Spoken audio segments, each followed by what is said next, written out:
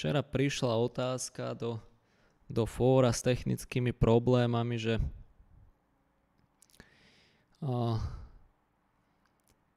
pri prepínaní vetví nastal takýto problém a je tam napísané, že je tu, je tu tá chyba. Your local changes to the following files would be overwritten by checkout, makefile. Please commit your changes or stash them before you switch branches. Čiže kolega sa pýtal, že, že, že čo s tým robiť a je, je to tam napísané, takže ja som samozrejme pomohol. Nechcem zase odradiť od pýtania nejakých takých uh, otázok, ale uh, keď už vám niečo vypíše ten program, tak je uh, dobre si prečítať aj tú chybovú hlášku. A skúsiť s tým nejako popracovať. Toto spomínam iba preto, že, že ste sa pýtali na nejaké rady a typy, tak toto je taký jeden typ, že treba naozaj čítať, čo je napísané, čo vypíše ten program a prakticky to ani nie je nejaká vážna chyba, iba Git sa snaží povedať, že uh, keby urobil túto operáciu checkout, tak by niečo bolo prepísané. Tak treba s tým niečo urobiť. A teraz je tu, že please commit. No a ja som zase spomínal Uh, myslím, že to bolo aj v tom prvom cvičení, bol tam odkaz na manuál Gitu a bol tam tiež uh, uh, uh, ešte, ešte nejaké také vysvetlenie ďalšie. Keď chcete o niečom zistiť, že ako niečo funguje, uh, tak je dobre si pozrieť k tomu manuál a to sa netýka teraz e, iba operačných systémov, ale to sa týka úplne všetkého. Možno niekto ste na to zvyknutí, niekto nie, ale tak OK, keď chcem sa dozvedieť o tom Gite, tak dám si, že Git manuál, vyhľadať do Google alebo do DuckDuckGo, ak chcete byť chránený súkromie. No a pozriem si referenčný manuál, No a napríklad, čo, čo sa týka komitovania, tak tu si môžete otvoriť manuálovú stránku komitu a tu je k tomu popísané. Čítanie manuálu zase neznamená, že to musíte úplne všetko prečítať. Tie manuály sa treba e, naučiť aj zase čítať.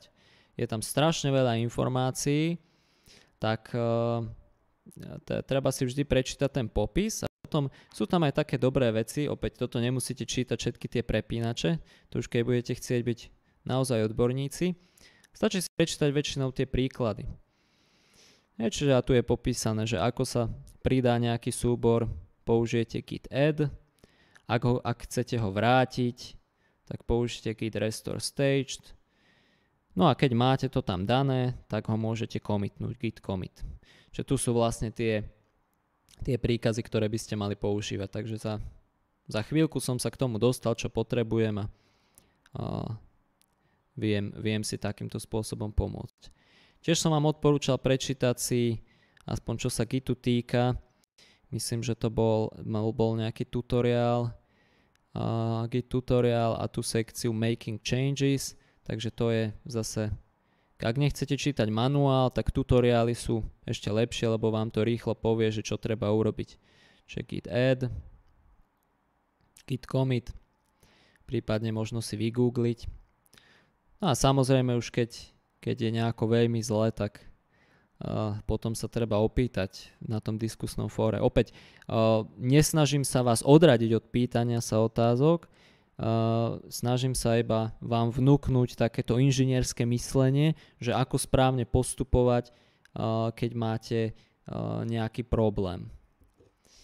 No a potom tu bola uh, dnes akurát na seminári tá otázka, že, že na čo slúži register Esteval. To bola taká dosť, dosť jednoduchá otázka. Neviem, či to kolegu napadlo v tom momente, že to sa mu nechcel vyhľadávať, tak v takom prípade beriem. Ale to je tiež taká vec, že uh, si otvoríte, tak ako som to vlastne ja tam urobil, že si otvoríte tú knižku Risk 5, chcem sa niečo dozvedieť o tom, o tom registri, napíšem a hej, tu je to, tu je to hneď napísané. Čiže uh, dob- dobre je sa naučiť tieto postupy vyhľadávania informácií. Pozrite si aj literatúru na stránke, tam boli pridané všetky tie knižky, ktoré ktoré používame, tie inštrukčné manuály. Sú tam aj volacie konvencie, takže toto sa vám môže hodiť. Tá kniha Risk 5 Reader, keď si ju dobre dáte do Google, tak ju nájdete na jednom GitHub repozitári. Pod copyrightom, tak ju nemôžeme šíriť voľne. Ale opäť tieto knihy by mali byť takým, takou vstupnou bránou, keď chcete niečo zistiť, že si to vyhľadáte. No, takže to som porozprával o tom, že ako to hľadať. A teraz tu máme otázky nejaké. A môžem sa opýtať z cvičení 4 na tú prvú teoretickú úlohu. No môžete sa opýtať, ale čo k tomu? Čo ste nevedeli? To je táto, že? Assembly architektúra RISC 5. Čiže vlastne uh, vašou úlohou bolo pochopiť niekoľko inštrukcií RISC 5. V repozitári nájdete súbor usercall.c, skompilovať ho môžete príkazom make fsimg. Uh, usercall ASM.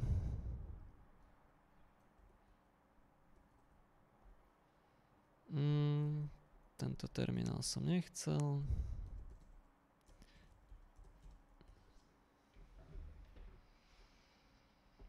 Hm, čo robím? Nie som v repozitári.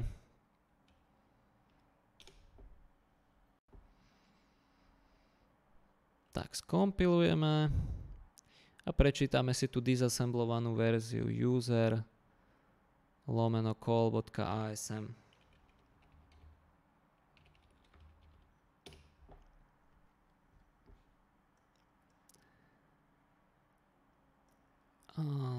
Čiže dajme si to na celú obrazovku. No a teraz ideme na tie otázky postupne. A ktoré registre obsahujú argumenty funkcií? V ktorom registre je napríklad uložené číslo 13? Čiže máme si prečítať uh, funkcie gf and main, ktoré registre sa argumenty funkcií. V ktorom registre je uložené číslo 13, argument funkcie printf. No, môžeme to niekde nájsť. Že máme otázku prvú. Ktoré registre obsahujú argumenty funkcií, v ktorom registre je napríklad uložené číslo 13, argument funkcie printf. Ešte dobré by bolo, keby som otvoril ten pôvodný c súbor. A vlastne, aj to tam máte. A... Takže to nie je potrebné. No, niekto mi odpovie na tú prvú otázku.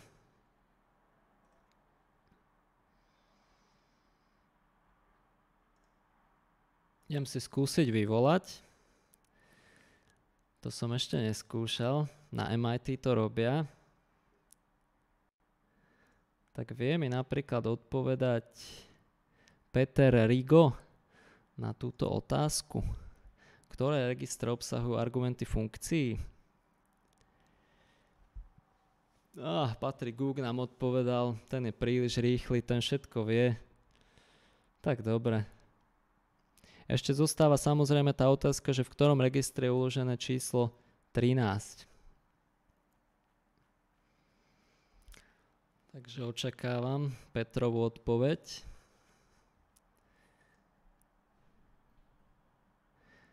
Teraz myslím Petra Riga konkrétne. Je tu s nami?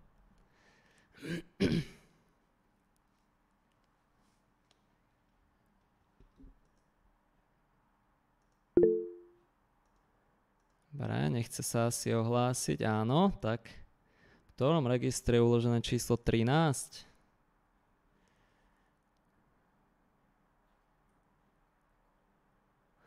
Bo vám mikrofón nefunguje? Dobre. Máme tu odpovede od aktívnejších študentov. Takže... a, a A2 je správna odpoveď, takže vidím, že tu pribudlo viacej odpovedí. Komu sa dá mikrofón použiť, tak použite mikrofón. Dobre, ideme ďalej. Kde je volanie funkcie f z funkcie main? Kde je volanie funkcie g? A je tam pripomenutie, že kompilátor môže funkcie inlineovať. Takže ja si otvorím teraz, ktorý to bol ten súbor call.c, že? A, takže takto to vyzerá v tom C.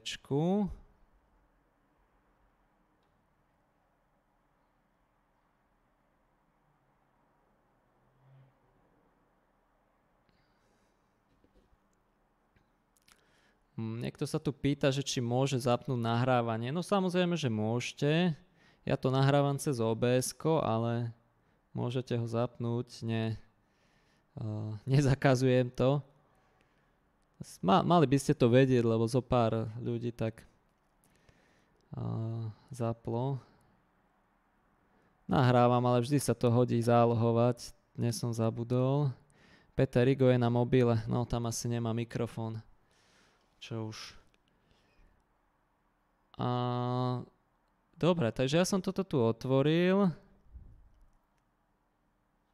A... Kde je volanie funkcie f, kde je volanie funkcie g?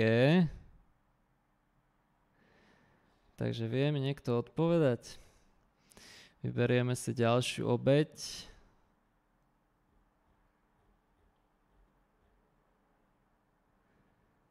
Tak mi zodpovedá Erik Richter na túto otázku druhú. Kde je volanie funkcie f z funkcie main? A kde je volanie funkcie g?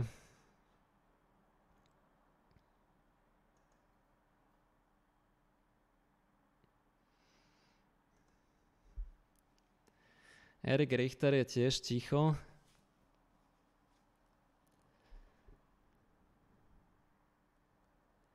Ináč uvedomujete si, že aké, aké je toto uh, vyučovanie dosť smutné, keď ani uh, keď takto slabo uh, interagujete s vyučujúcim. Predstavte si, že, že ste v prednáškovej miestnosti, niekto sa vás niečo opýta a potom vy ste ticho, všetci sa na vás dívajú.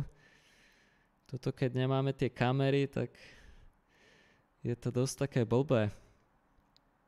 Čiže Erik zostáva ticho a je tu nejaká otázka, že, že či, číslo riadku. A môžete to povedať aj číslo riadku, ono sa smyslí v tom ASM súbore, takže môžete aj tak uh, odpovedať, ale myslím, že túto vám číslo riadku nebude stačiť. Uh, niekto sa tu odpovedá na Matej Švábik, že 47. Uh, Tuto je nejaký AUIPC 00 tam je. Mne sa nejako nezdá. 43 tu potom je. To je pripočítanie k, eh, k S0 16 plus stack pointer. Toto je myslím, že súčasť uh, prológu, takže ani to nie je. Správna odpoveď 42. A tam máme zase zápis do S0. Sú, myslím si, že tam sa ukladajú ukladá práve ten bývalý frame pointer. Nemala by to byť typovačka, takže poprosím nejakú konkrétnu odpoveď.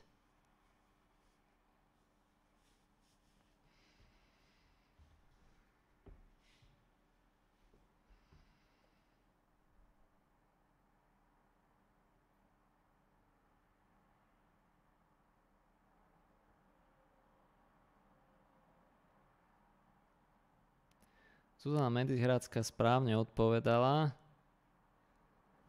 V1 je tá hodnota. Čiže uh, viete, že žiadne volanie tam nie je.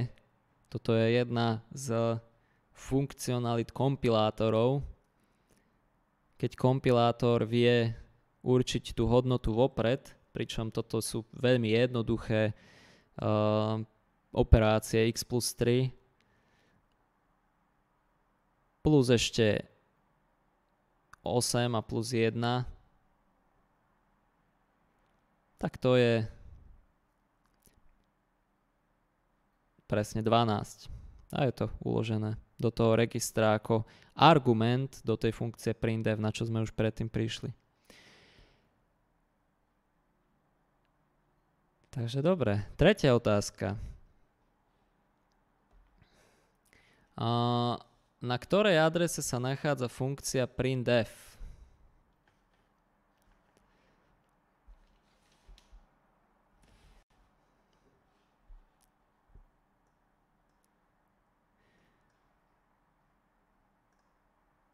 Odpovie nám Martin Varga.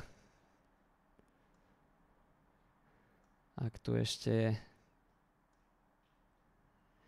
No, však už nám odpovedal Matúš Kanda, no nevadí. Zachránil ho. A riadok 50. Sprá... No. Nie je to správne. Akože na, na riadku 50 je volanie tej funkcie, ale teraz sa pýtame, pozor, na ktorej adrese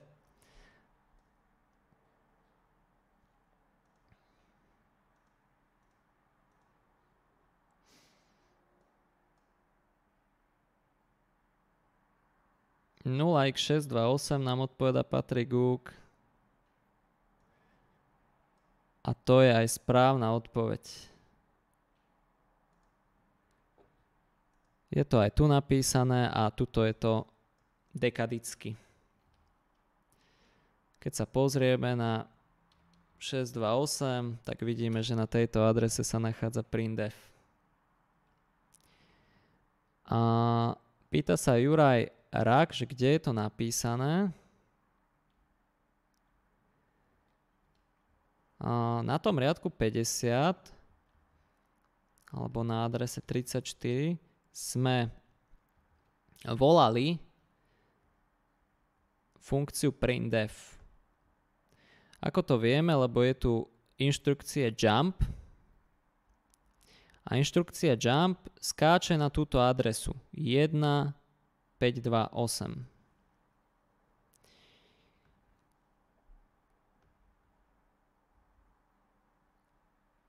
Čiže to je 628. Toto tu, čo je, to je toto 5F, bla bla bla, to je, to sú kódované inštrukcie. Toto v skutočnosti sa nachádza v tej binárke, a keď toto rozkódujete, tak je to jednak tá inštrukcia a potom jej argument.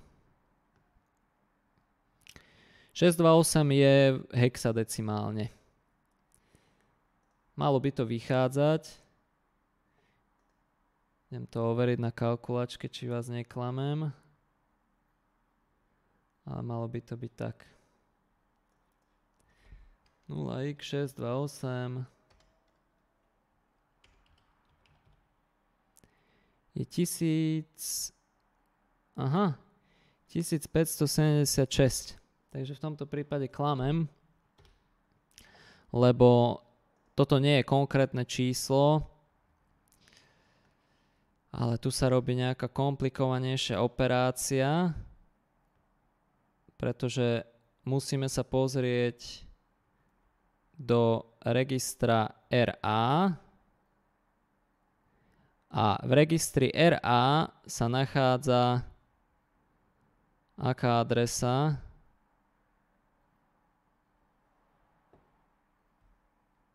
Tridsať. No, uh, inštrukcia AUIPC nahrá do registra RA uh, aktuálnu adresu inštrukčného mm, pointera s offsetom 0. To znamená, že tam je tá hodnota 0x30, lebo tam sa tá inštrukcia vykonáva.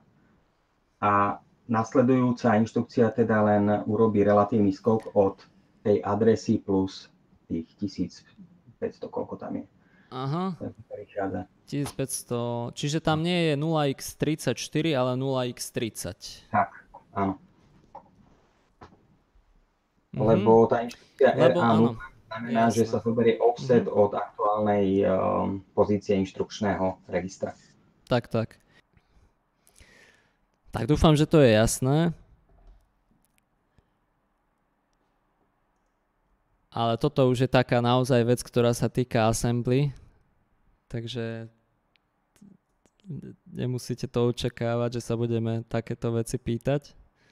A skôr tu bolo naozaj iba, iba o tom, že, že otázka bola, na ktorej adrese sa nachádza tá funkcia.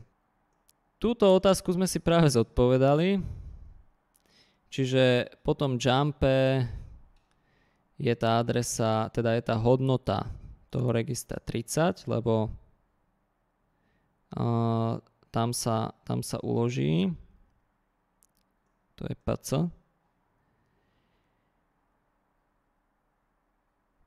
No a tu by sme si mali tento kód spustiť. No, mali by sme, mali by sme zistiť, že aký bude výstup. Toto sa zase týka Little a Big Endian.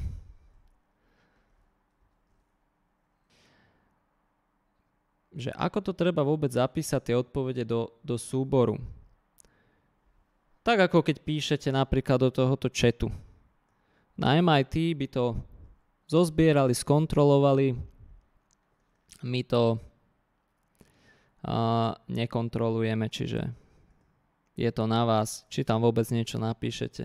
Ak chcete, aby vám zbehli tie testy make grade, tak ten súbor musí existovať. To by boli už nejaké veľmi dobré autotesty. No skúsime ten call a čo nám vypísalo? Vidíme, že tam napísalo H a namiesto toho percento x tam pribudlo E11. Namiesto tu, to, tohoto percento S tam pribudlo RLD. Čiže vidíme, že z tohoto stalo, z tohoto čísla sa stalo E110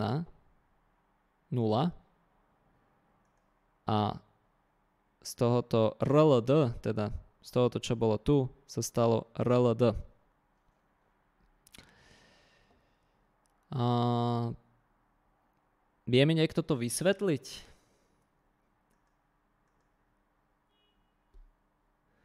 Vysvetlí mi to Tamara Tučková? ak tu ešte je.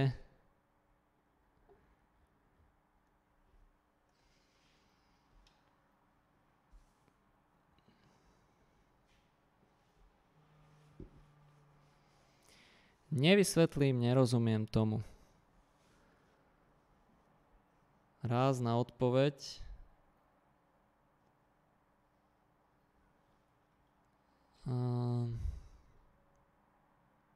Rozumiete aspoň ako printf funguje, že ako funguje percento x, percento s, že čo to robí. Opäť možno toto si vyžaduje zase ten inžinierský prístup, že treba postupne analyzovať, že čo sa tam deje. Ako celok to možno nemusíte tomu rozumieť, ale treba začať teda od toho samotného výpisu. Čiže ak neviete, že čo robí percento x, percento s, tak samozrejme, že sa nedostanete ďalej. Tak musíme si na začiatok ujasniť, že či mm, tomu rozumiete. Takže Lukáš Daniš nám píše, že uh, percento x je hexadecimálny výpis, áno, čiže vlastne toto číslo 57616 sa vypíše hexadecimálne. No a poďme si overiť, že uh, aké je to číslo hexadecimálne 57616 je E110. Takže snáď je toto dostatočne vysvetľujúce, že z tohoto čísla sa vypísalo to percento x hexadecimálne. Percento s je string, samozrejme, takže tá hodnota i sa vypísala ako string. A teraz prečo sa to vypísalo ako o, r, l, d? Teda r, l, d.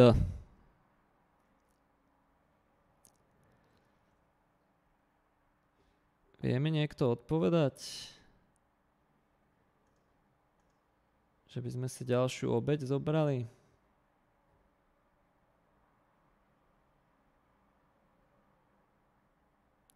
Hodnoty zasky. No a celkom zaujímavé je, že ako to, v akom poradí to ide. Daniel Nošik píše, že či sa to modulovalo. Myslím, že modulo tam žiadne nie je v tomto prípade. No 0, 0, pokiaľ dobre viem, je, nie je žiadna ASCII hodnota. Ako to tam vlastne funguje? Čo, čo, čo je tá... Ako, ako idú tie ASCII hodnoty?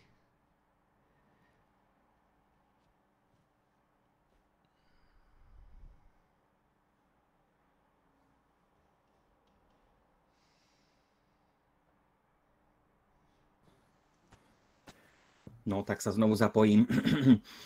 Eh, by som podotkol, že ano. v C je reťazec, um, je reťazec postupnosť znakov ukončená nulou. Takže je dosť zaujímavé, že napríklad to i teda začína rovno tou nulou a predsa sa nejaký reťazec vypíše.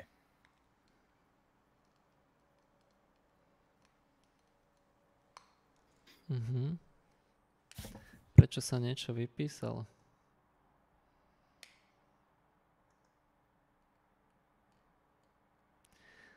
A Tomáš Vavro nám píše, že ide to od posledného bajtu. No. Môžeme si skontrolovať, že čo je tá 7 dvojka.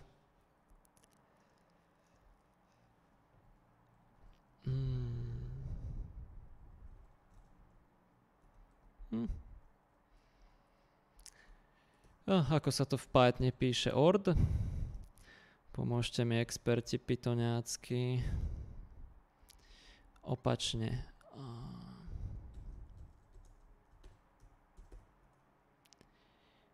OK, a ja chcem ja chcem urobiť presne opačné. Asi byte.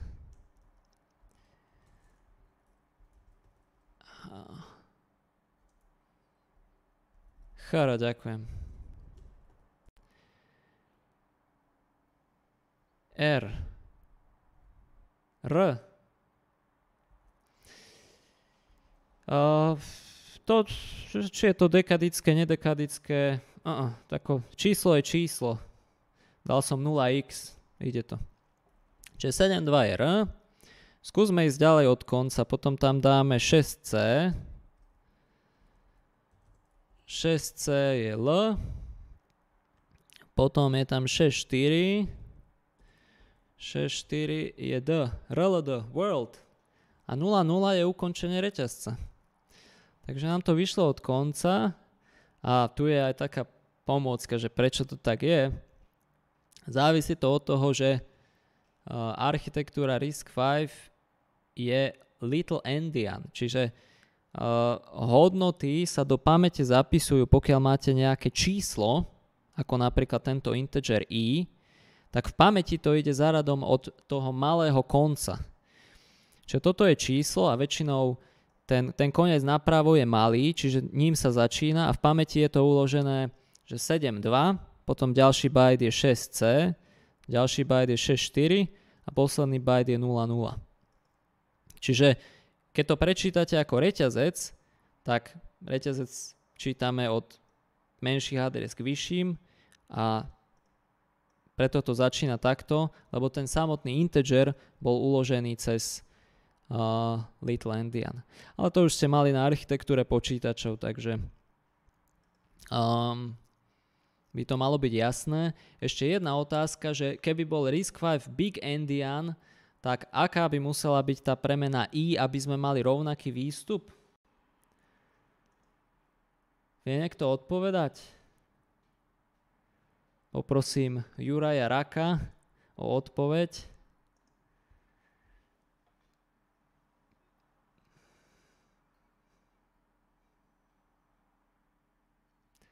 A keď sa nám neohlási, tak uh, môžete aj napísať niekto iný. Á, keďže je to Big Endian. Dobre, už máme tu veľa odpovedí a myslím, že všetky sú správne. 7, 2, v pohode, ak, ak viete odpoveď, tak pokojne píšte. Zase prvý vyhráva. Dobre. Uh, 7, 2, 6, C, 6, 4, 0, 0. Áno, otočíme. Uh, s, áno, no, otočíme, ale po tých, po tých bajtoch to treba otočiť. Je to také trošku, trošku zvláštne. Akože musí to začať 7, 2, 6 a tak ďalej. No a posledná otázka asi je, že čo bude na výpise za y v nižšie uvedenom kóde. No to už je taká iba otázka na, na porozmýšľanie, respektíve možno uh, ak viete, ako fungujú funkcie s výpustkou, Takže ak je tu nejaký znalec, tak sa môže ozvať. Pán prednášajúci má nejaký nápad, že, že prečo to tak je? Aha, že nemalo by vyhodiť kompilačnú chybu. Toto je dobrá otázka ináč, lebo um, uh, aj, aj, aj k jazyku C uh, také, také funkcie, ktoré môžu mať viac argumentov, ako som nazval, sú funkcie s výpustkou, čiže tá, tá deklarácia toho printf, nájdeme ju, bude mať také tri bodky na konci. No a C nemá žiadny mechanizmus, ktorým by skontroloval, že či uh, pri kompilácii, že či tam že koľko je tam tých percent. Pri kompilácii sa to proste nerobí. Ten, ten, ten reťazec formátovací je ako každý reťazec. Čiže kompilačná chyba nenastane žiadna. Ale to ďalšie číslo sa len predsa načíta. Otázka je, že z čoho sa načíta.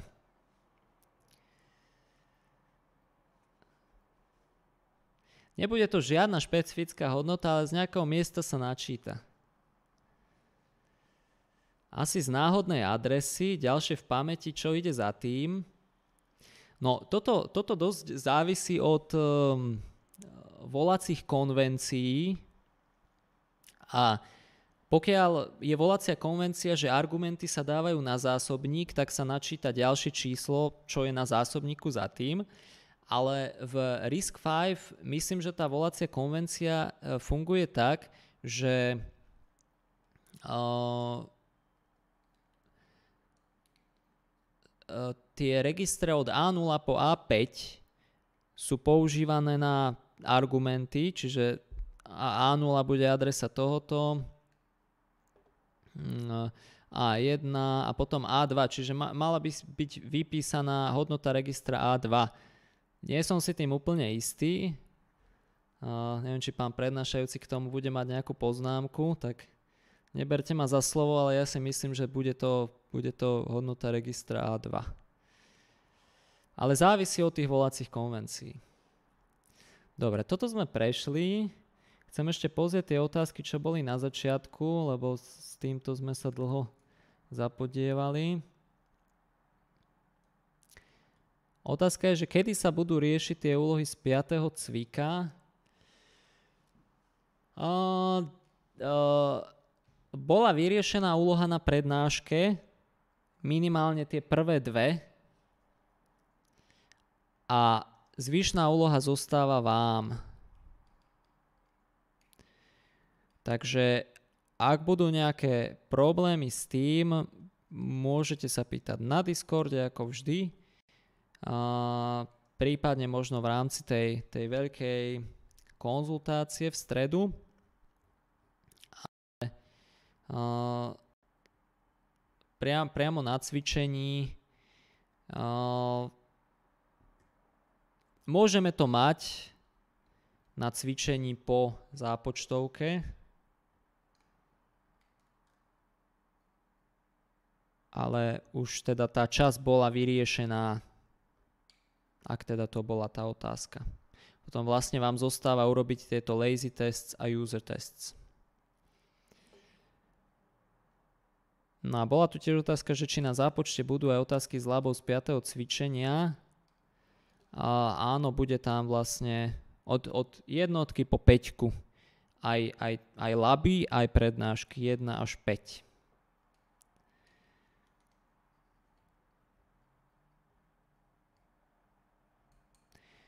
Tipy na zápočet, uh, tie potom na tej, na tej veľkej konzultácii, prípadne ešte nejaké konkrétne typy nemám, veľa vecí sme prešli, skôr ma zaujíma, že aké vy ste mali problémy s tým riešením, uh, čomu ste nerozumeli, uh, na, na to sa vieme pozrieť. Lebo zase by som sa iba opakoval to isté.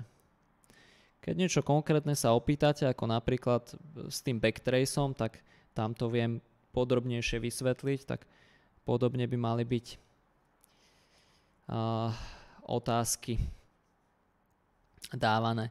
Tu nám píše Rastislav Kopal, že tips and tricks deň pred uh, je trochu neskoro. To je pravda. Nemali by ste sa začať učiť deň pred. Um, na tej konzultácii by mali byť také otázky, ktoré, uh, ktoré, na ktoré neviete vyslovene prísť. Preto je to deň pred zápočtom, aby, aby uh, ste si to uhladili. Čiže teraz by ste sa mali pýtať tiež také veci, ktoré ešte nie sú, nie sú jasné, využiť ten čas, učiť sa priebežne a potom to už bude také úplne, úplne final.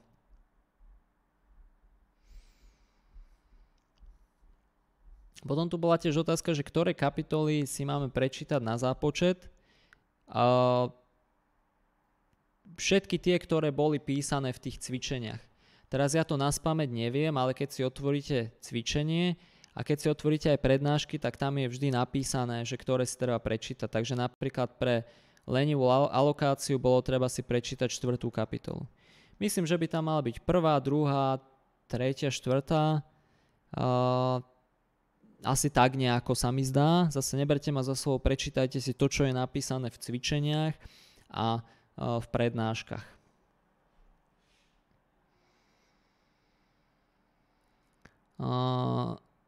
že či bude opravný termín, opravný termín bude iba pre tých, ktorí sa nezúčastnili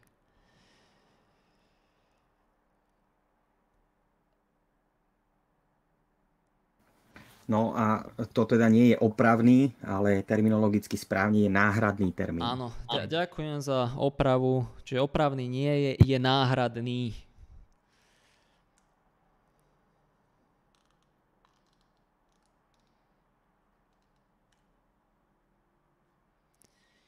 No dobre, teda naplnil sa čas cvičenia. Toto cvičenie nahrávka bude dostupná.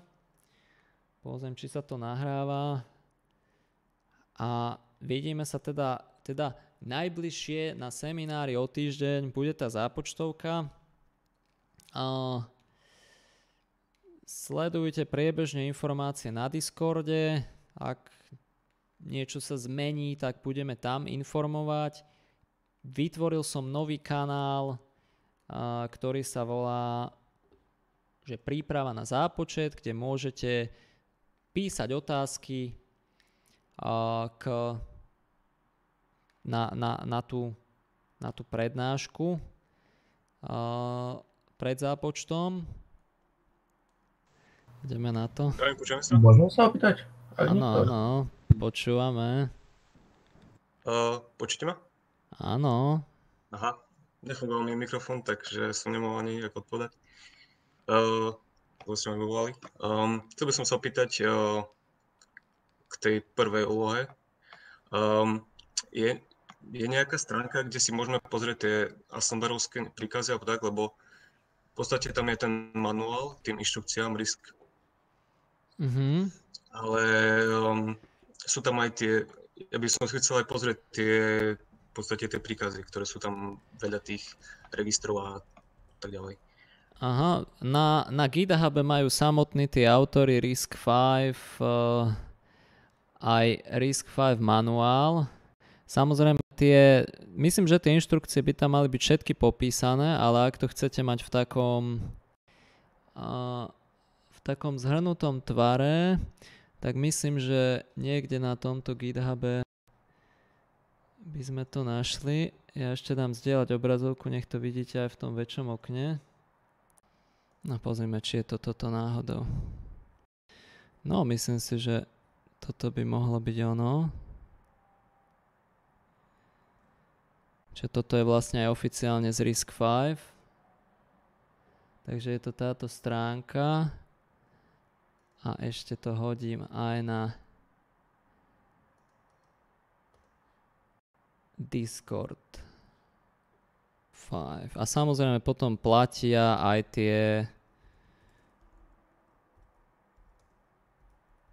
zvyšné pdf. Tam je to dopodrobná popísané.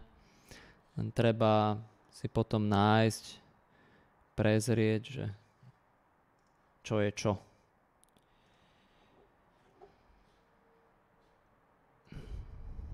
Môže byť toto je to, čo ste hľadali?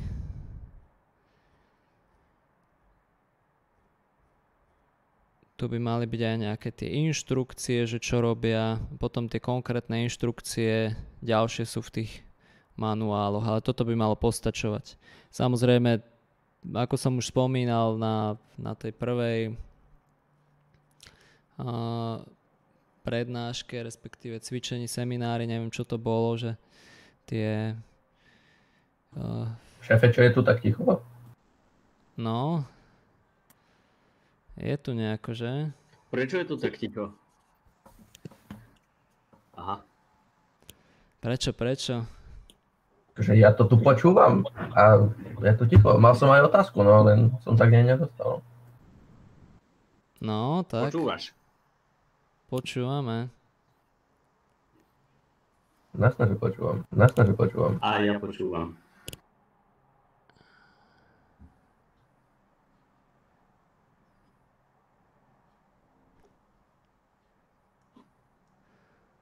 Bola dobrá výmena.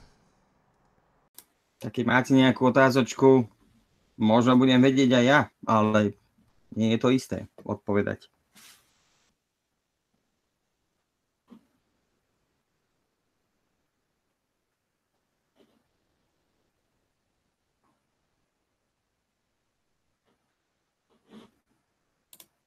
Či už nemáte žiadne otázočky?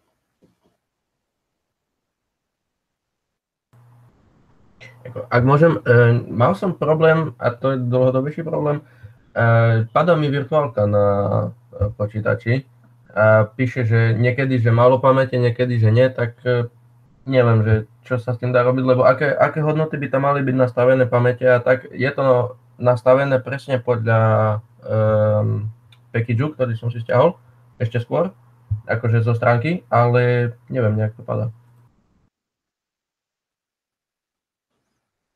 No a koľko rámky má váš počítač? 4 GB, Windows 7. Akože počítač má nejakých 5-6 rokov. Je tam sedmička, nepreinštalovaná. Nechcem desiatku, takže neviem. Uh-huh. A virtuálke, vo virtuálke koľko priraďujete rámky? hneď sa pozriem, ale tuším 4096 MB tam písalo nejak, idem sa pozrieť. No tak to je celá rámka, ktorú má váš počítač k dispozícii, takže to asi nepôjde. že skúste zmeni, zmenšiť na 2 GB vo virtuálke.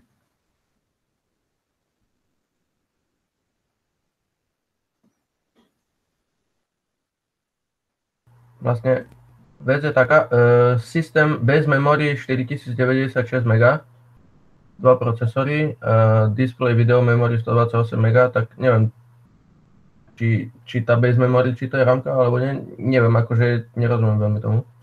Áno, tak tam dajte 2048. Ešte by som mal jednu. Uh, momentálne prechádzam si všetky učiva a ešte raz si to robím a tak pozerám tie prednášky z YouTube a tak. Uh, môžem, zatiaľ nemám otázky k učivu, ale ak by sa neskôr niečo vyskytlo, môžem vám potom na Discord napísať do správy, alebo ako by sa to dalo prípadne, keby som fakt nevedel s niečím pohnúť. Hmm. Tak ako doteraz stále reagujeme na otázky, ktoré sú na Discorde, takže akokoľvek budete potrebovať nejakú pomoc, tak to nie je že len v tomto čase, ale to je najlepšie, aby sme potom sa neopakovali a niekedy je lepšie to niektoré veci vysvetliť také zložitejšie znovu aj takto audiovizuálne. Ale to, čo sa dá, tak to zodpovedáme aj cez Discord samozrejme. Takže v prípade, že sa to nedá vyriešiť cez Discord písaním, tak aj tam sa potom vieme dohodnúť na inej forme konzultácie, tiež audiovizuálnej, už sme to tak robili viackrát, takže uh, s týmto není problém, len my ako s Roderikom máme najväčší problém ten, že sa nepýtate a o týždeň je zápočet a chápem, že máte iné predmety a potom deň predtým dojde milión otázok.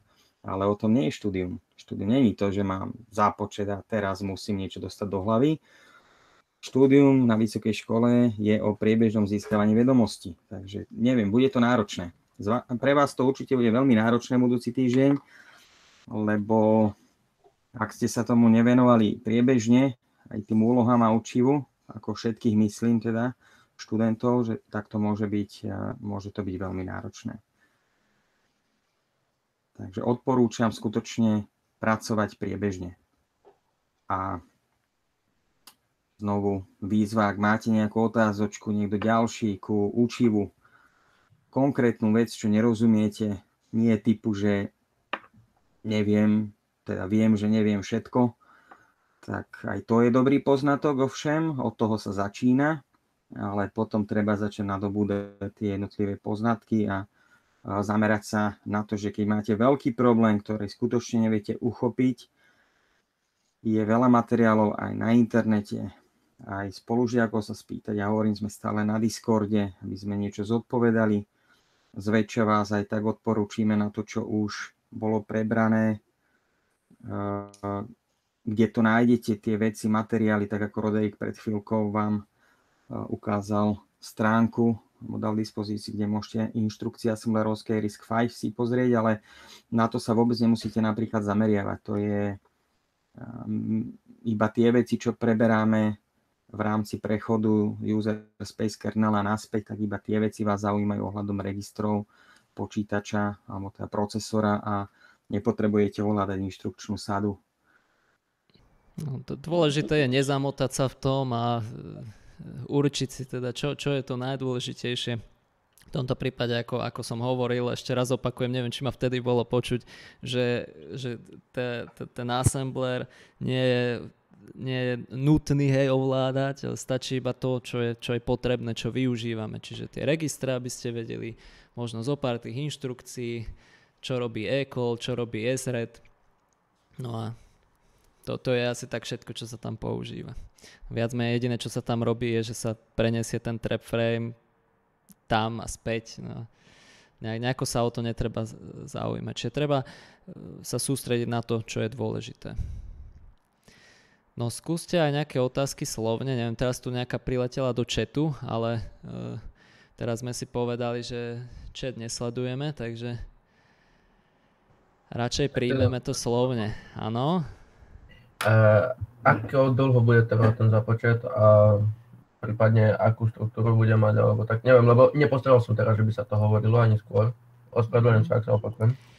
A čo sa týka uh, času, že koľko na to budete mať, tak uh, uh, to ešte nie je určené, to určíme podľa toho, aké otázky tam budú, koľko ich tam budeme mať. Myslím, že ani to nemáme konkrétne určené, ale bude to určite tak, aby ste to stíhali.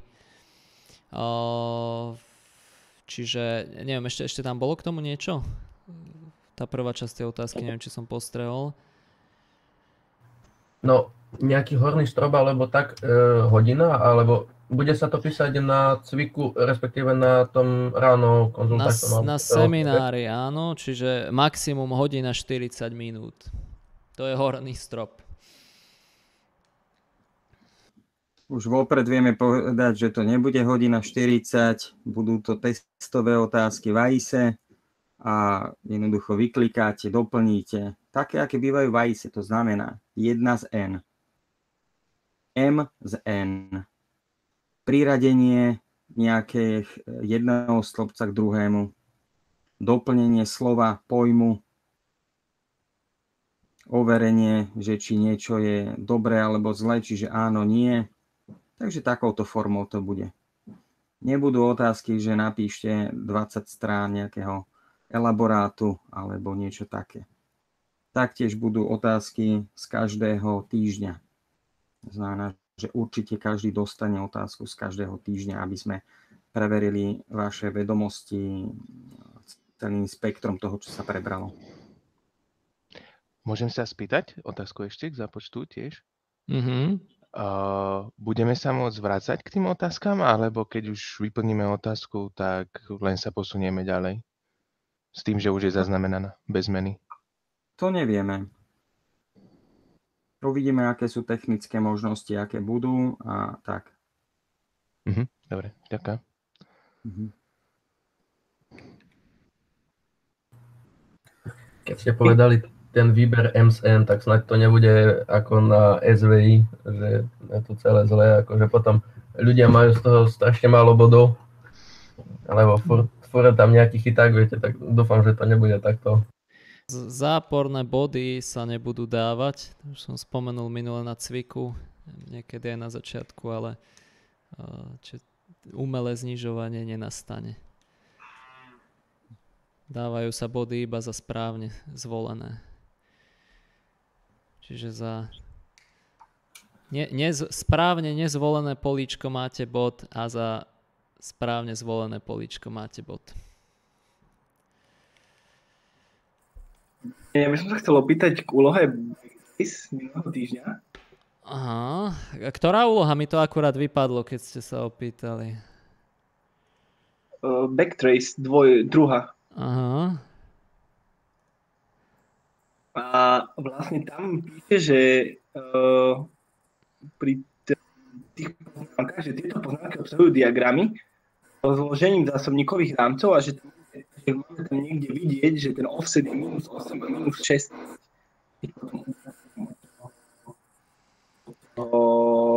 zásobníkového rámca. Som to nikde nájsť v tých poznámkach. No, tá otázka mne bola nejaká zašumená. Vie mi to niekto zreprodukovať alebo skúsite to zopakovať? Viem, že niečo s tými zásobníkovými rámcami, čiže asi by sme že... sa mali na toto pozrieť. Kde v poznámkach sa nachádza informácia o tom, uh, že kde sú tie offsety minus 8 a minus 16 pre hodnoty alebo tie veci, ktoré bolo treba riešiť v rámci zadania backtraceu? Taká je otázka? Áno, to je otázka. Mhm. Kde, kde v poznámkach? Teraz neviem, ktoré poznámky sa myslia. Možno, možno všetky tie materiály, alebo čo sme spomínali, že či niekde teda je usporiadanie toho zásobníka. Nie, aby... link na to, že tieto poznámky a link. A myslíte túto prezentáciu, hej? Nie, nie, nie. Pri, jak je úloha backtrace a jak je popísaná, robiť, tak tam píše poznámky. Tam link na tie poznámky. Aha. No na stránke, hej? Pozrime, backtrace. Áno. Tieto poznámky. Nie, a ide ten link? Mne sa zdá, že ide. Aha. Áno, ide. Tam píše, že niekde tamto niekde tam má byť ukázané, že ten offset je minus 8 a minus 16. No neviem, tu je minus 8 je, minus 8 je tá návratová adresa a minus 16 je ten predchádzajúci uh, ukazovateľ na predchádzajúci rámec. Čiže ja som toto zobral a som to prekreslil do tohoto formátu, čo som ukazoval, myslím, že na seminári. Takže uh, nie je to tam priamo napísané, ale je to vidieť, hej, že je to posunuté. Takže asi jasné, Aha, hej, teraz. Ak, ak by som ešte dodal, uh, no. malo, no. malo to byť vidieť z toho, že vlastne Risk 5 to bolo hovorené, teda uh, Roderick to spomínal, že vlastne uh, na zásobník sa ukladajú a používajú hodnoty o šírke 64 bitov, 8 bajtov každá. To znamená, že keď máte ten náčrtok toho obrázku, tak je potom úplne evidentné z toho, že si viete odpočítať, že kde sa nachádza ktorá položka, keď máte niekde ukazateľ toho zásobníka, ten vrchol.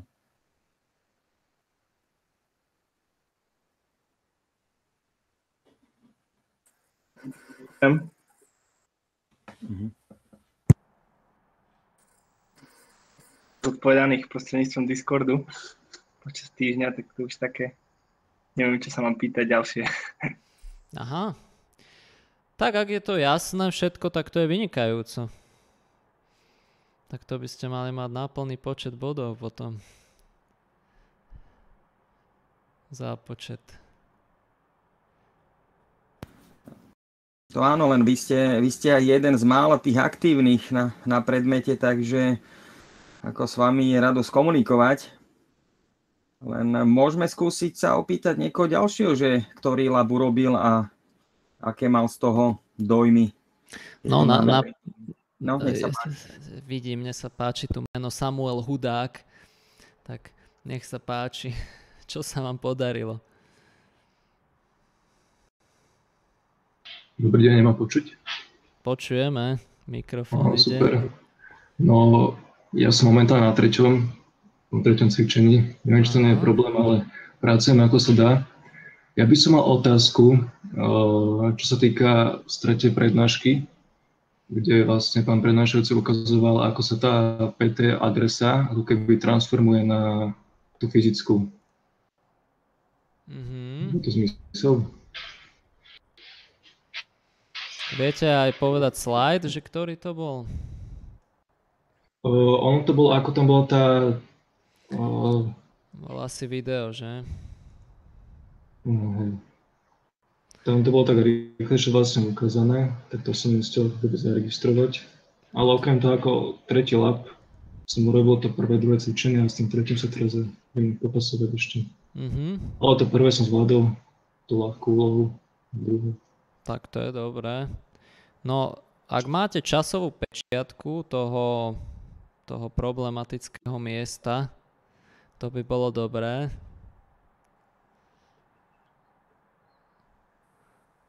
Lebo tak celá tá virtuálna pamäť je o tom preklade. On to bol ku koncu. Možno viac špecifikovať tú otázku, lebo skutočne ako išlo o preklad tej virtuálnej adresy na... Áno, jasné. Áno, ako bola vlastne tá o, tabulka stránok, tak vy ste tam vlastne ukazovali, ako vy ste tam robili nejaké bytové posuny alebo nejaké bytové operácie, sa mi zdá. Hexadecimálne alebo niečo také podobné. Aha, tam, kde som sa zamotal, že? Uh-huh. As, hm. Asi áno. Áno.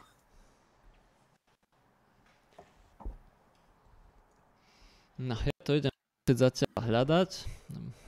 Asi to urobím tuto u seba na počítači, lebo kým sa to v tej virtuálke um, otvorí. No, áno, tam som sa snažil previesť alebo ukázať, že keď chceme mapovať prvé tri virtuál, alebo teda prvé tri stránky virtuálneho adresného priestoru, keby chcel proces používať, tak ktoré položky bude musieť mať alokované v tej štruktúre stránok. A vlastne bolo ukázané, že L2 musí byť jedna tabulka, tá je vždy jedna a stačí nám L1 tabulka iba jedna a potom vlastne L0 tabulka tiež jedna a v nej boli nejaké záznamy, ktoré ukazovali do rámky na tri stránky. No a to, čo som tam vlastne robil, kde som sa trošku zamotal, tak vlastne boli tie operácie, že keď máme, keď máme virtuálnu adresu RISC-V procesor, ktorú používa, tak tam máme 39 bitov, ktoré zoberieme do úvahy. 12 spodných bitov je offset a tie horné bity, tých 27 musíme rozsekať na tri časti.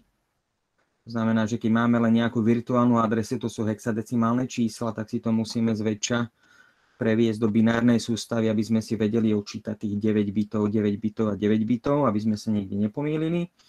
To si prevedieme potom na čísla, ktoré potrebujeme a to sú indexy do jednotlivých tabuliek. Takže bolo to tam tak dosť narýchlo a ak ide o tie bitové operácie, tak len to uvedomiť si, že každý index má 9 bitov. To znamená, že ak máme hexadecimálne čísla, ak máme 16-kovú sústavu, tak dve, jeden symbol 16-kovej sústavy ehm, na jeho reprezentáciu potrebujeme 4 bity. 2 na štvrtú je 16, takže 4 bity nám stačia na 16 symbolov. To znamená, že ak chceme 9 bitov, tak potrebujeme dva symboly a jeden bit z ďalšieho symbolu. Takže dosť zle sa to z tej 16-kovej sústavy číta a preto treba potom si to previesť to číslo do binárnej sústavy, do dvojkovej a rozsekať ho na tie devetice, 9 bitov, 9, 9 a už potom získate indexy do tabuliek eh, jednotlivých úrovní stránkovacích. Takže ak máte nejakú otázku, čo konkrétne ste tam nerozumeli v tom príkladíku, tak uh, skúste to nájsť a môžete aj na Discorde uh, nás tým osloviť, uh, alebo ak to viete takto rýchlo, tak môžete špecifikovať bližšie, čo konkrétne nie je jasné. Môžeme si teoreticky dať príklad na to, na, na tie byty, že ako sa prečítajú. Myslíte, že je to dobrý nápad? Ďakujem za vysvetlenie. No, môžeme to urobiť. Možno teda nejakú virtuálnu adresu a ako zistíme indexy do tabuliek, že ako prídeme k tej fyzickej, tak taký príkladík asi, ak by si mohol mm-hmm. zobrať nejakú virtuálnu adresu a môžeme, môže zobrať trampolíny, nejaké inštrukcie a, alebo hoď čo. Skúsim asi, asi nejakú takú úplne, že, že vymyslenú adresu. Zase nech sa to ľahšie rozdeluje, lebo to len predsa treba prekonvertovať na tie na tie byty. Takže 9, 9. No a potom je tam, čiže ak, ak sa nemýlim, opravte ma, ak sa mýlim, a vidíte už obrazovku, hej, už to, už je to v lepšom poriadku, hej? Áno. Čiže máme tam, skúsim taký obdĺžniček. Čiže ak sa nemýlim, tak tá virtuálna adresa vyzerá nejako takto a toto tu má offset je 12 bitový, že? A už toto aj pribudlo vzadu vo videu. Takže vlastne keď máte nejakú adresu, tak musíte si to rozsekať na, uh, na tento počet uh, tých bitov. Takže uh, chce niekto streliť len tak nejakú adresu alebo zoberieme tú, tú trampolínu, nebude tam veľa tých nul. Tam je trojka a samé FK, takže tam tých nul bude dosť málo. Aha. No, akože hej, no veď to sa bude ťažko prekonvertovávať, ale tak môžeme si to pozrieť. Dajme takto kernel a mem layout, že a tá trampolína je na a PG size a to je, niekde by to tu mohlo byť napísané 3F, len koľko tých f tam je. A to bude tam celkom dosť. Nedáme si nejakú jednoduchšiu adresu, nechce sa mi teraz zase s tým zabávať veľmi. Keby sme mali niečo také realistickejšie.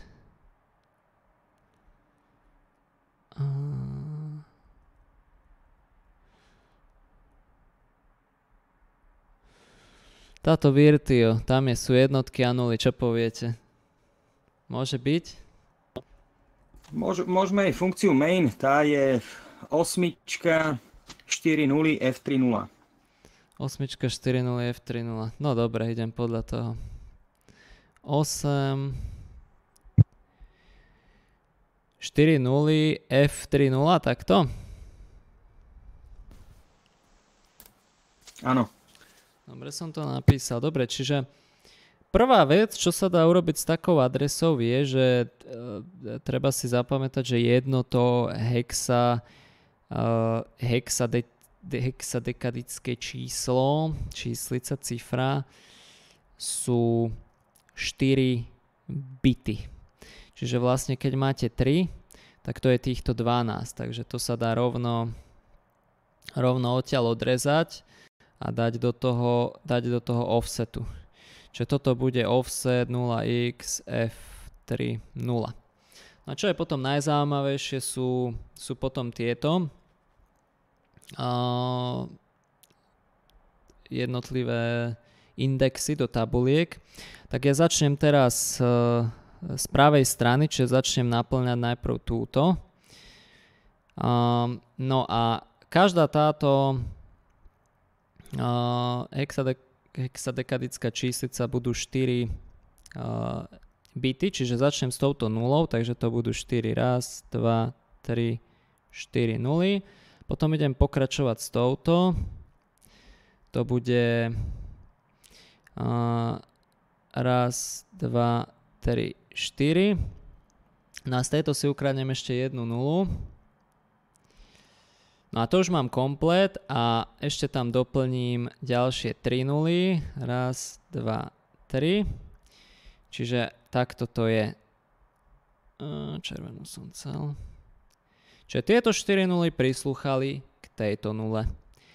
Tieto 4 nuly prislúchali k tejto nule.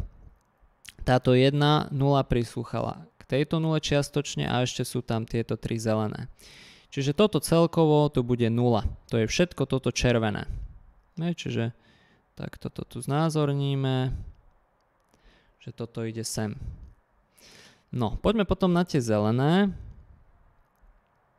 Čiže to som dokončil, teraz zoberiem ďalšiu nulu. Čiže 4 nuly teraz, hej, čiže toto dáme takto, raz, 2, 3, 4. A, a koľko ešte potrebujeme? Raz, 2, 3, 4, 5, 6, 7. Ešte dve musíme zobrať. No a teraz táto, táto osmička. Osmičku ako napíšeme v binárnej sústave? Osmičku v binárnej sústave napíšeme, a, ak sa nemýlim, tisíc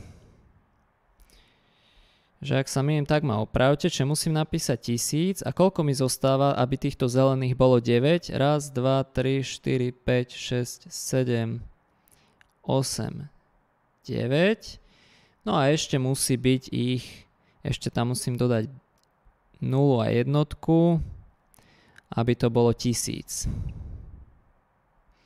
No. A čo sa vlastne teraz stalo?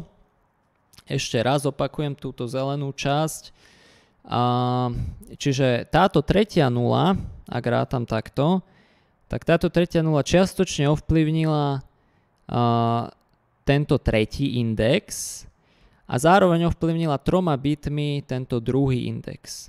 Potom táto nula čisto ovplyvnila tento druhý index a potom táto osmička prispela dvoma nulami ešte do tohoto indexu a jednotkou a nulou do toho prvého indexu. Takže tuto bude tiež 0, lebo z tých zelených je celkovo 0. Tak toto tam prejde do tej nuly. No a teraz, tuto už nemám nič, takže ja tam môžem doplniť nuly samé. Čiže potrebujem ich 1, 2, 3, 4. Nie vidno kurzor? Uh, uh, uh, ale snáď... No, a že, že som vám to ukazoval, že? Skúsime niečo vymyslieť. Pozriem sa, že ako to vyzerá u mňa. Takto vidíte kurzor, hej? No, dalo sa to pochopiť, však malo by, ale skúsim. Ešte sa kúknem, že ako to u mňa vidno. Keď nájdem to okno.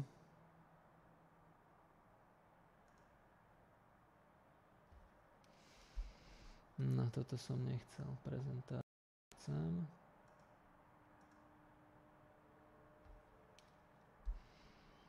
Takto vidno kurzor, takto nevidno kurzor. Bá, vidno stále kurzor. Ma klamete. Teda ja ho tu vidím v tom, v tom zábere.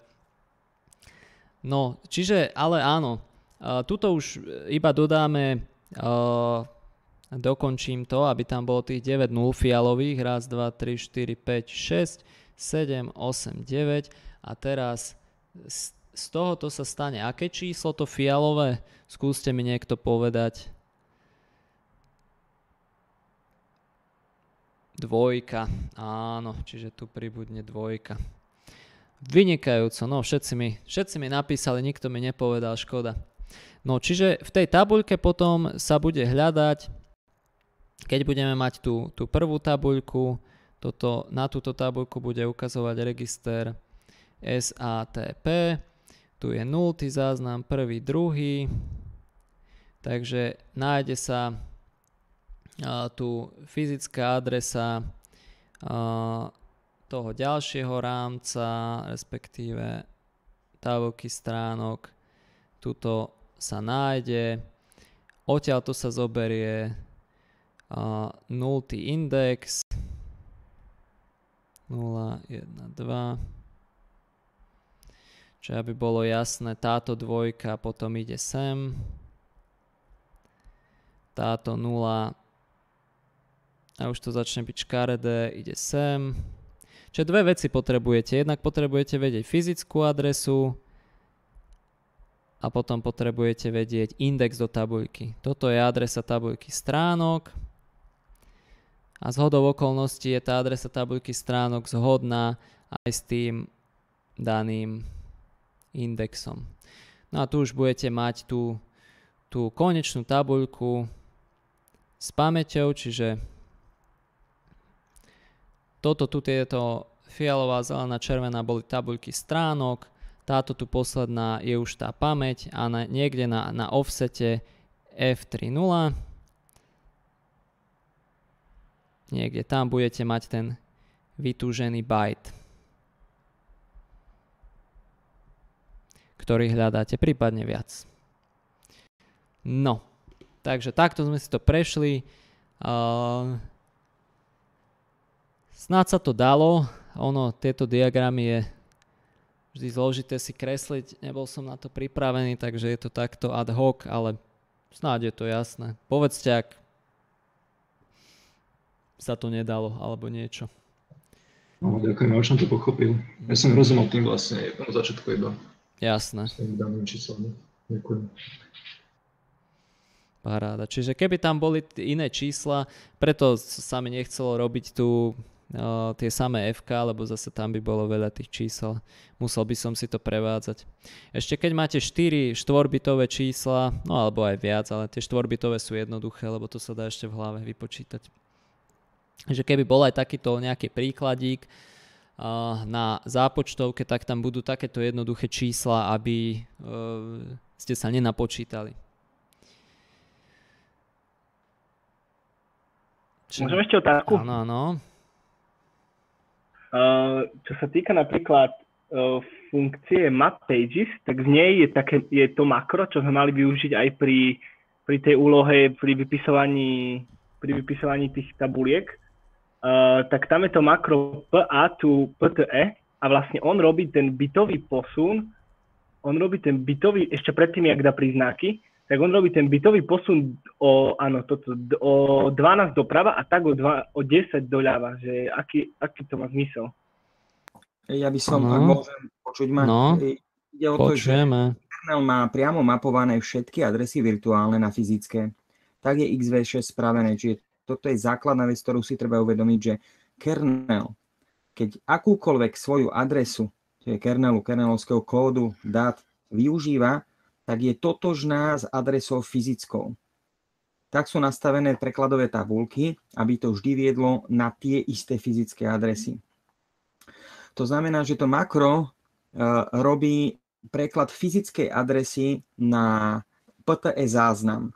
No a teraz si treba uvedomiť, že keď jadro používa nejakú adresu, je to stále len program. Je to program a to znamená, že musí použiť virtuálnu adresu. To, že sú tie tabulky nastavené tak, že ukazujú na tie isté fyzické, to už je iná záležitosť toho hardwareu.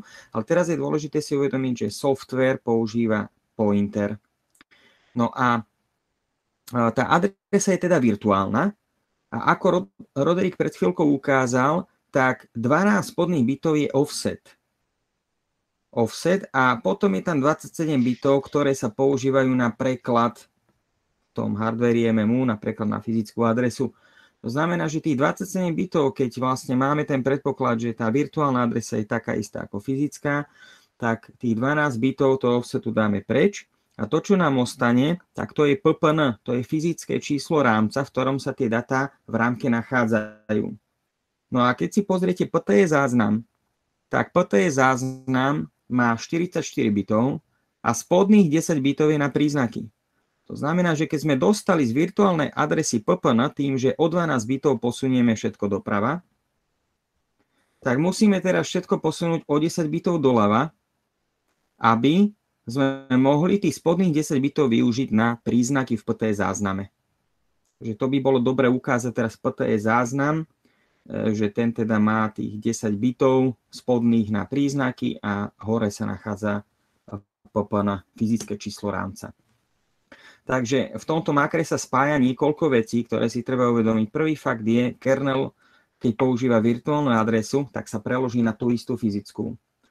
Z toho vyplýva, že keď teda O 12 bitov doprava posunieme celú virtuálnu adresu, dostaneme PPN a to môžeme použiť do záznamu PTE, ale PTE záznam je formovaný tak, že spodných 10 bitov sú príznaky a PPN je až nad tým, takže musíme celé toto číslo posunúť o 10 bitov doľava. Takže asi toľko k tomu. Takže vlastne je to hlavne kvôli tomu, že v XV6 je, to je priamo mapované. To by sa nedalo použiť niekde inde. Takéto Správne. Áno, nedá sa. Nie, nie. Toto je čisto záležitosť XV6, to, o, takže treba sa na to aj tak pozrieť. Preto to nie je napríklad v súbore uh, RISC 5H, hej? Je to v tom VM, alebo teda v ktorom to je? Myslím, že v tom...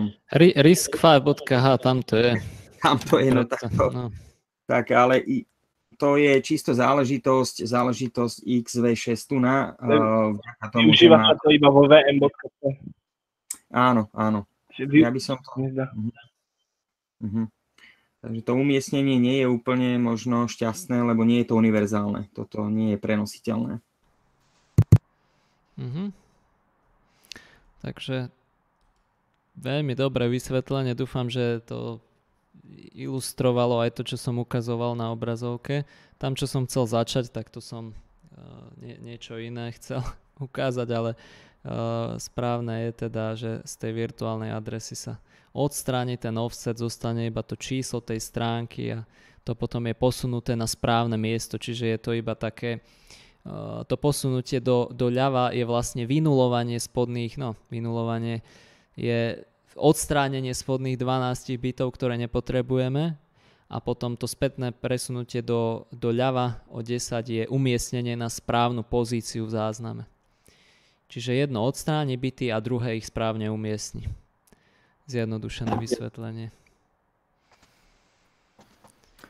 Áno, ale ako si spomenul, tak ide o vynulovanie, lebo tu by sa to dalo kompenzovať, že keď doprava o 10, o, o 12 doľava, tak niekto by si povedal, že to iba o 2 posunie doľava, tak to by bola chyba, pretože presne týmto makrom sa vynuluje tých spodných 10 bytov, ktoré slúžia na príznaky. Mm-hmm. Ináč by tam ostal neporiadok z toho offsetu a to by, to by nebolo dobre. Tak, tak. Dobre. To bolo asi aj odpoveď tu, čo bola otázka. Dobre, no na, nám sa už minul čas uh, na cvičenie. A ďakujem za otázky. Bolo to istotne lepšie sa s vami porozprávať. A... Môžem ešte jednu? Áno, áno, jasné, jasné. E, že čo sa týka trampolíny, tak vlastne ona slúži na to, aby keď sa prechádza z užívateľského modu do kernel modu, tak ona, uh, ona vykoná ten, ten presun z trap frameu do registrov a potom opačne? Uh, No pozrieme sa, či to tam je. Teraz nie som si istý, že či ten kód je v trampolíne, ale mal by byť. Áno, tam sa robí presne to, že sa iba, aby, sa nez, aby sme mali k dispozícii presný stav procesora užívať, e, pri vykonávaní užívateľského programu. Takže áno, jediná vec, ktorú spraví, alebo tá, tá najdôležitejšia je, že skopíruje celý stav procesora. Keď sa prechádza z kernel do user, tak sa skopíruje do trap frameu všetko a keď sa prechádza z kernel módu do user, tak sa z trap frameu obnovia všetky hodnoty registrov. Aha, takže sedí to, dokázal som to aj kódom, je tam trampolína a sú tam potom tie funkcie user vec, čiže to ide uh, z užívateľského priestoru do priestoru jadra, tam sa to nakopíruje a potom, keď sa to vracia, robí sa to opačne, user read. Takže sedí to, je to tam. OK, ďakujem. Páči sa. Dobre, ešte nejaká rýchla otázka na záver? Ak nie, tak píšte teda tie otázky na Q&A session, ktorú budeme mať budúci týždeň v stredu na prednáške. A keby boli nejaké ďalšie otázky, tak sme k dispozícii na Discorde píšte do tých jednotlivých uh, uh, kanálov, aby si to aj vaši kolegovia mohli prečítať a uh, budeme teda aj my priebežne informovať, uh, keby náhodou sa niečo zmenilo. Ale teda plán zostáva budúci týždeň v čase seminára je tá prvá zápočtovka. Takže ďakujem za všetky otázky, lúčim sa s vami, prajem pekný zvyšok dňa Dovidenia. Dovidenia.